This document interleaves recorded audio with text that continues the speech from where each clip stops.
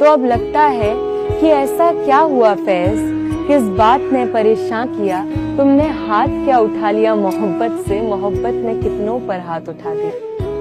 अच्छे खासे काम काजी घर जा बैठे और निकम्मों ने लिख लिख कर कितना नाम कमा लिया तो कोई पूछे कि ऐसा क्या हुआ फैज जो जवानी मिलती है बर्बाद होने को, उसमें खामखा क्यों आज़ाद हो गए?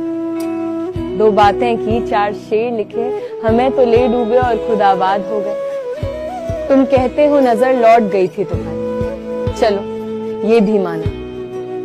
जब किसी के जख्म नासूर बन गए होंगे जमीर दुखने लगा होगा, शब्द छिल गए होंगे, ईमान झुकने लगा होगा, तब नज़रें तैर गई होंगी सनम की आँखों से।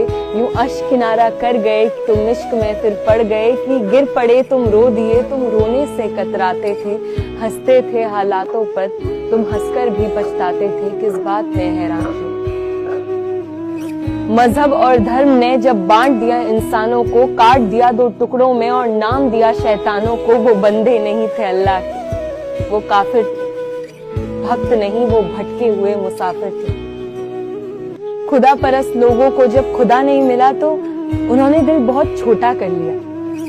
छोटे दिलों से मोहब्बत नहीं और उन्होंने क्या किया?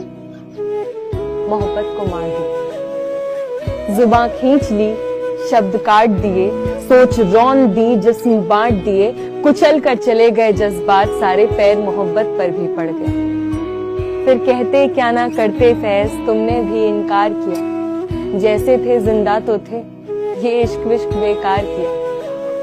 बड़ी जिल्लत है इश्क में, बड़ी हिम्मत करनी पड़ती है। इतनी इतनी खुशियों की भी कीमत भरनी पड़ती है।